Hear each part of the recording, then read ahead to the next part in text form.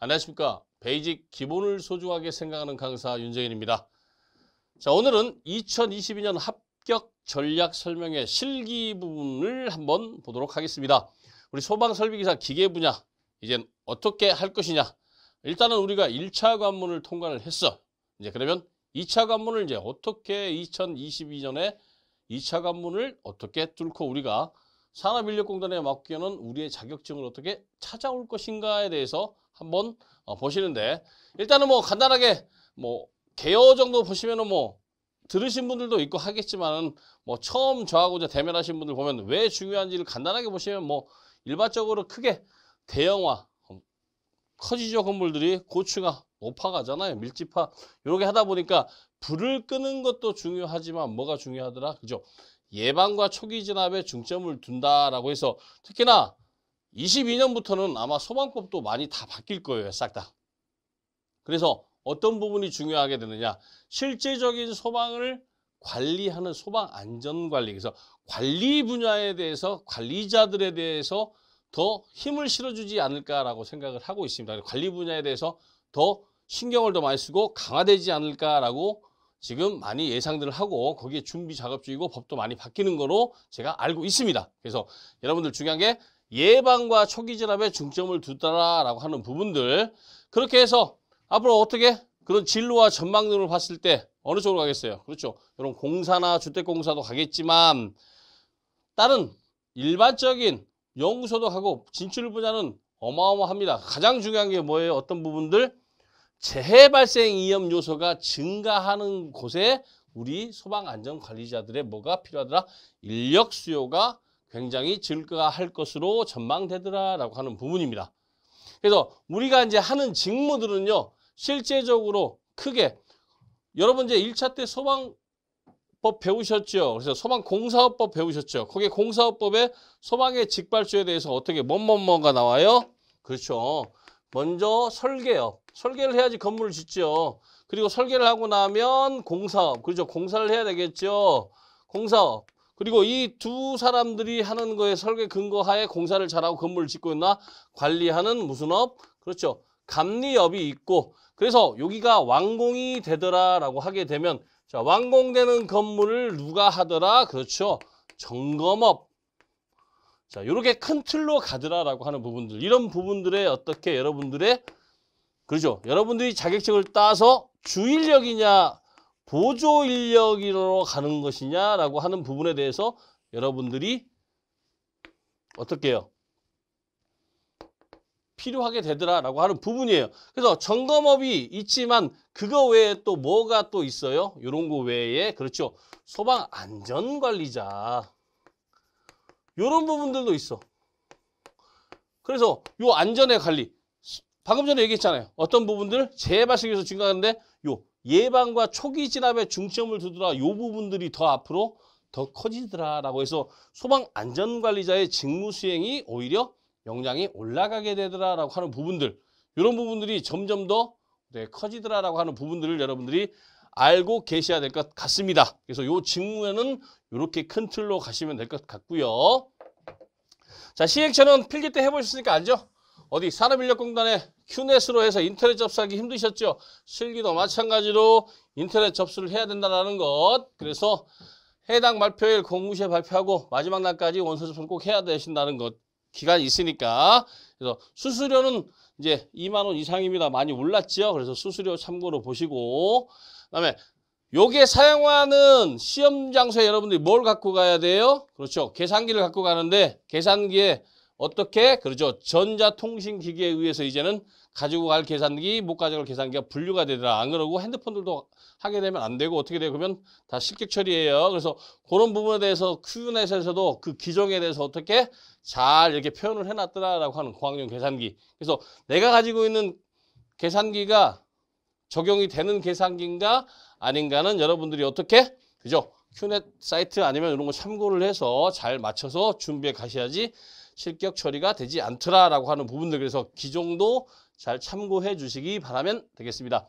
그래서 우리가 1차를 일단 끝났죠. 1차를 끝났기 때문에 여러분들이 바로 기사 시험 보시는 분도 있지만 또 기능사에서부터 산업기사에 또 올라오시는 분들도 있죠. 그래서 그렇게 하게 되면 어떻게? 그렇죠. 2차는 원서 접수를 하기 전에 뭐예요?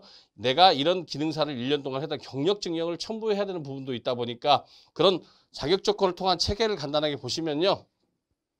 자, 기능사는 제한이 없습니다. 근데 산업기사는 기능사 플러스 실무 1년 간단한 앞부분만 얘기하는 거예요. 대졸이고 그 다음에 실무 2년이 있어야지만이 산업기사 볼 수 있고요.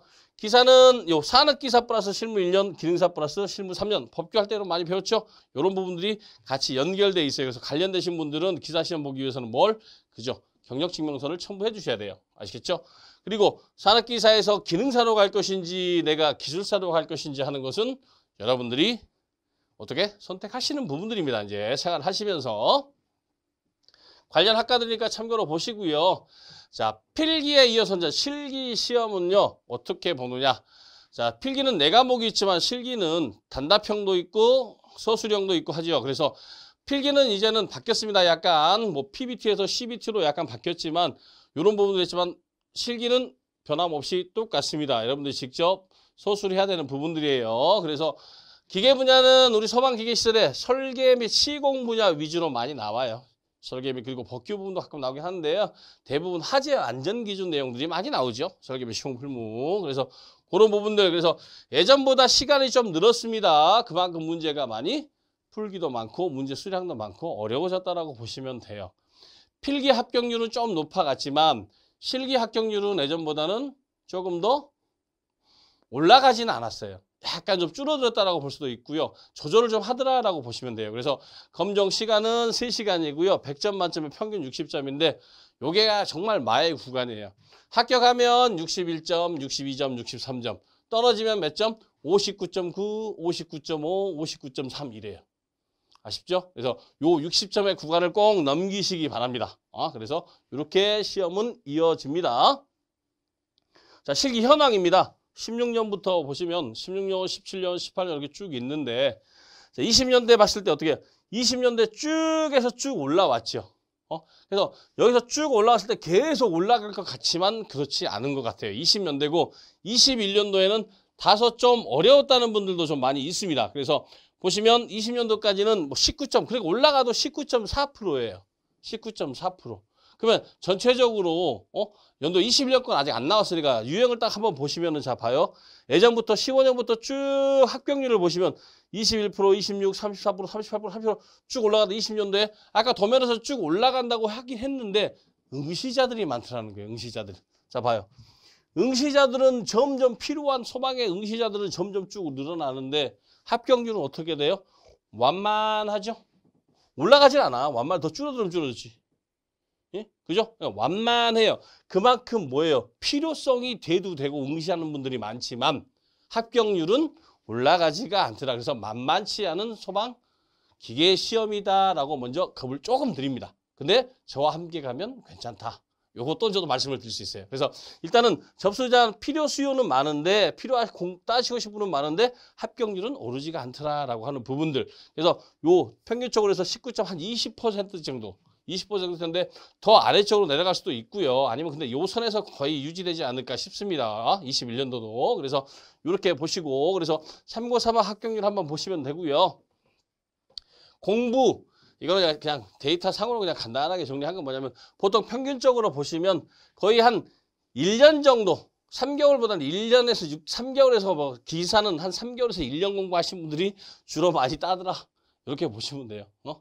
뭐 기존에 좀 내가 베이스가 되시는 분들은 뭐 한 3개월도 하지만 3개월 미만은 좀 높긴 하지만 우리가 운이 좋으신 분도 있어요. 내가 아는 문제만 나오면 음, 합격할 수도 있죠. 아, 그런 것도 있지만 그래도 대부분 한 3개월에서 6개월, 6개월에서 1년 정도 걸리더라. 기사가 조금 소방 기사 기계가 전기보다는 살짝이 솔직하게 조금 합격률이 낮고 어렵습니다. 많이 떨어지세요. 한 방에 합격하신 분들은 좀 거의 좀 드문 편이에요.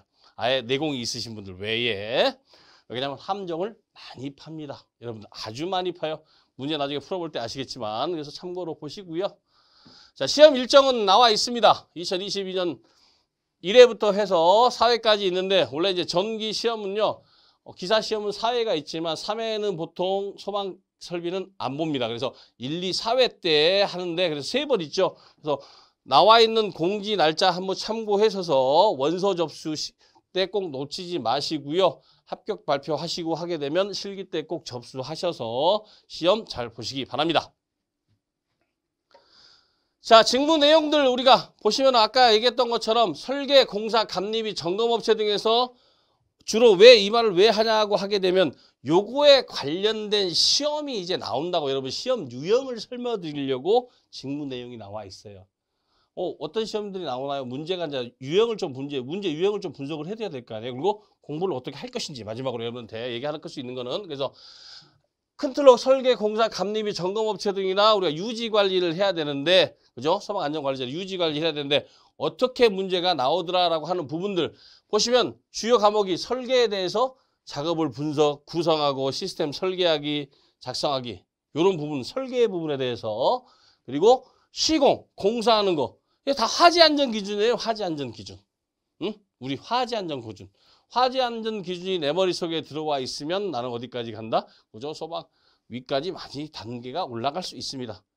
항상 들고 다닐 게 뭐? 화재 안전 기준. 응? 그래서 시공하기. 그리고 요 설계하고 설계가 잘 됐는지 공사를 맞게 하는지 하는 감리하는 감리 부분 그래서 설계 도서를 검토할 줄 그러니까 도서를 볼 줄 알아야 돼요. 그럼 이거에 대해서 맞게끔 시공하고 있는지 어? 8D, 5D? 이거 순서가 어 틀렸는데? 아니면 어 여기는 개폐 밸브 해야 되고 어 여기는 어 조절 밸브 해야 되고 어 토출구 쪽에 어떻게? 어 OS&Y 우리 흡입 쪽에는 뭐 어떻게 돼요?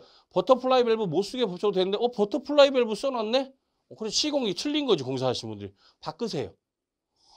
화재안전 기준에 이, 이 밸브는 쓰면 안 돼요라고 되어 있습니다. 어느 부분에 그죠? 펌프의 흡입 부분엔 이런 거를 이제 검측하는 시공 검측하는 거. 이런 부분들. 이게 뭐냐면 내가 알고 있어야 된다는 거죠. 그리고 감리일지 작성하기 이런 거는요. 시험 실적 안 나와요. 실무고 실무기 때문에 이제 그냥 나와 감리가 주로 하는 일에 대해서 정리를 한 거니까 나와 있는 부분이다. 그리고 유지 관리에서 가장 중요한 소방 안전 관리, 유지 관리. 소방 시설의 이 유지 관리 이꼴은 뭐예요? 소방 시설의 구조 원리를 모르면 유지 관리가 안 되죠. 설비가 어떻게 동작하는지, 어떻게 사이렌이 들어가 신호가 떨어가는지, 물 넘어가서야 알려주고 화재 경보가 일어나는지 어떻게 내가 구조라 원리를 알고 있어야지 그거에 대해서 유지관리나 오작동하거나 하는 것을 다 고칠 수 있잖아요.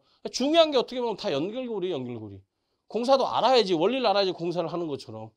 그죠? 뭐가 들어가고 왜 이걸 써야 되고 왜 이 설비를 이렇게 역수해야 되는지 아주 중요한 정도를 하나입니다. 그래서 이 유지 관리에 대했을 때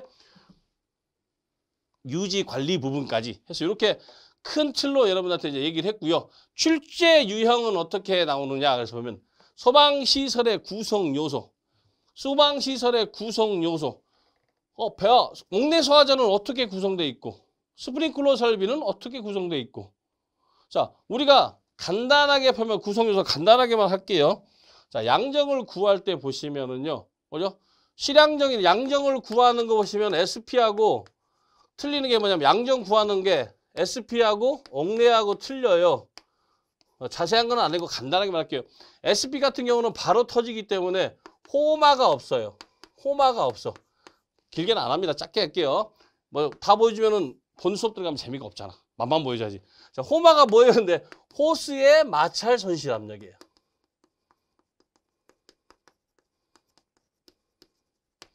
무슨 말이냐? 옥내수화전에는 이 양정을 구할 때 호마선이 들어가요.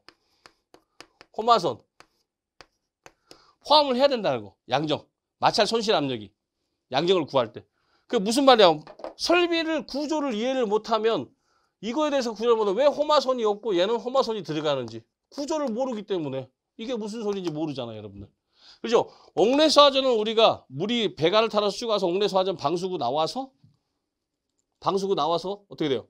호수에 물을 따라서 쭉 따서 하는 이 호수를 지나가야 되는 거리가 있기 때문에 그거에 대한 마찰 손실이 필요하더라라고 해서 계산을 하는 거지만 옥내수화전은 스프링클러는 그런 호수를 통하는 물이 또 없잖아요. 바로 헤드에서 물이 탁 터져버리니까 배관 지나서. 그죠? 요런 부분들은 뭐야? 우리가 소방시설을 이해를 해야지만이 아 요것이 들어가는가? 이게 들어가지 않은가를 이해를 한다는 것이.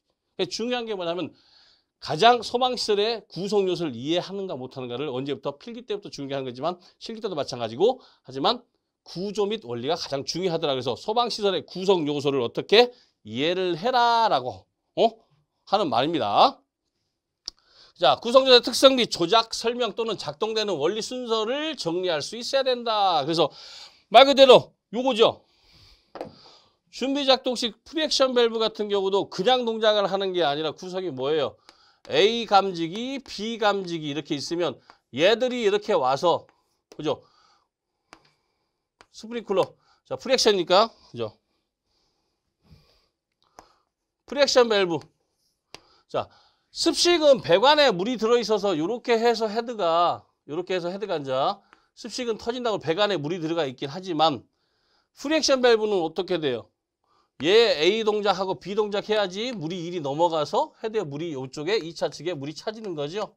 이 원리를 모르면 어떻게 돼요? 정리할 수가 없는 거잖아요. 그죠? 그래서 이런 원리나 순서를 알고 있어야 된다는 것. 두 번째, 점검 및 유지 관리를 위해서 어떻게 점검 계획과 점거 요소를 정리할 수 있는가? 세 번째, 소방시설별 구성 시스템을 이해하고 설계할 수 있는가? 그래서 전체적으로 뭐예요? 전부 다 소방의 구조 및 원리에 대해서 물어보는 거예요. 네 번째, 시공에 있어서 필요한 자재 및 공사 방법 순서. 공사를 하게 되면 배관이 얼마 들어가는지 어떤 배관이 얼마 들어가는지 이런 거에 대해서 산출하는 것도 가끔씩 문제가 출제가 됩니다. 그래서 이런 부분들도 여러분들이 잘 챙겨야 된다는 것. 자, 중요한 학습 방법. 그러면 공부는 어떻게 해야 되나요? 자, 가장 중요합니다. 일단 소방 유체역학은 기본적인 문제, 가장 기본적인 문제들은 자주 출제가 돼요. 그래서 기본적인 문제는 여러분들이 무조건 숙지를 해서 반복적으로 풀어보셔야 돼요. 유체역학 문제는 문항 나오는 것에서 한 문장씩 5점에서 10점짜리 꼭 나올 수도 있어요. 그러니까 5점에서 10점짜리를 건지기 위해서는 여러분들 어떻게? 기본적인 문제 무조건 풀어보셔야 된다는 것. 그래서 변형 응용 문제는 기본 문제를 마스터한 후에 응? 그렇게 풀어보시고 두 번째 주어진 문제에 대해 적용되는 이 문제는 이 공식을 쓰고 이 단위가 항상 들어가고 이 공식에는 요 단위가 들어가고 이런 부분들에 대해서 여러분들이 어떻게 따로 정리를 하시고 이걸 반복적으로 하셔야지만 아 이런 문제 나올 때는 아 이 공식 대입. 아 이 문제가 나올 때는 요 단위를 쓰더라. 이 공식에는 요 단위를 쓰더라. 이거 자체가 여러분들 어떻게 기본적으로 여러분들 머릿속에 숙지되어 있어야 된다는 거. 그래서 그게 두 번째. 각 소방설비 관연도 문제를 비교해요 설비별로 그러니까 옥내 소화전은 옥내 소화전 문제들별로 관연별로 한번 다시 추스려 가지고요. 옥내 소화전 문제들만 한번 쭉 한번 보세요. 어떤 유형으로 나왔는가. 그러면 스프링클러도 한번 처음부터 쭉 관연도 문제부터 쭉 한 번씩 보면서 아 요래 올해 때는 이렇게 했다 이렇게 변형을 좀 갔네. 요런 패턴들을 쭉 보시면서 푸시면 될 것 같고요. 자 마지막으로 한 권의 책을 여러 번 반복적으로 학습하는 것과 매일 30분 이상 꾸준하게 이 루틴을 계속 이뤄가지 않고 패턴을 늦춰버리면요. 하루 건너뛰면 여러분들 앞에 하루 했던 거 다시 그 앞으로 가서 이틀치를 공부해야 돼요. 그러니까 매일 조금씩 조금씩 조금씩 할 수 있는 이런 루틴의 방법들을 꼭 가지고서 습관을 들이고 공부를 하시라는 거. 그리고 이 책 적재 보시고 마시고요. 이 책을 보시고 어느 정도 이 책에 숙지하다가 생각하면 이게 좀 궁금해 자세히 안 났으면 다른 책을 그때서 아니면 참고 삼아 하나 보시고 일단 한 권의 책을 위주로 공부하시는 게 가장 좋습니다. 자 마지막으로 이제 합격 전략 공부는 여러분들이 이게 공부하는 이유가 일단 있어야 돼요. 공부하는 이유가 내가 왜 공부해서 자격증을 따야 돼? 그러면 뭐냐면 먹고 살기 위해서라고 할 수도 있지만요. 가장 중요한 마인드는 뭐냐면요. 나는 엔지니어. 그렇죠. 소방의 기술자가 되기 위한 가장 기본적인 자격이 되기 위해서다라고 해서 우리 자 배분학에서는 어떻게 하느냐. 그래서 제가 어떻게 하느냐? 기본 이론 정리하고 이념, 이념과 개념을 여러분한테 인식을 시켜드리고 각 유형별로 문제풀이를 같이 풀어드릴 거예요. 저도 실수하는 사람이기 때문에 실수할 수 있어요. 그래서 가끔씩 문제풀이 하다 보면 저는 실수하는 거 여러분들이 지적해 주시는 분도 있어요. 사람이기 때문에 저도 100% 완벽할 수는 없죠. 그래서 이런 부분들이 여러분 공부를 하면 할수록 그런 어 선생님이 어디서 틀리나 요거 찾는 재미도 있을 수 있습니다. 그래서 여러분 문제풀이 그래서 유형들을 보고 적응석 그리고 반복적으로 학습하는 것 그리고 마지막으로 나를 어떻게 관연도 문제 풀려서 문제를 예상해보고 아 요런 유형으로 나오고 여기서 함정을 이렇게 팔 것 같다. 그렇게 해서 이런 부분들에서 실전 능력을 향상을 해서 가장 중요한 건 뭐냐면요. 시험 출제하시는 분들이 이렇게 보시면 돼요. 여러분들 합격시키려고 문제를 내지 않습니다. 여러분들 떨치려고 문제를 내요. 그러면 뭐예요? 함정을 판단하는 거지. 그래서 저분이 어떤 함정을 팔 것인가가 여러분들이 잘 함정을 피해가느냐에 따라서 실수를 하지 않느냐에 따라서 뭐가 되더라? 그렇죠. 합격과 떨어짐이 있더라라고 하는 부분입니다. 자, 그런 부분들은 실제적으로 자 실기 공부를 하시면서 저하고 좀 더 자세하게 어떻게 함정을 파고 했나 이런 부분들은 같이 또 부딪혀 보면서 같이 준비하도록 하고요. 마지막으로 2022년도 합격 전략 실기 부분을 마무리 짓고요. 여러분들 현장에서 그리고 실무를 하면서 또 찾아뵙도록 하겠습니다. 그러면 그때 뵙도록 하고 수고들 하십시오. 감사합니다.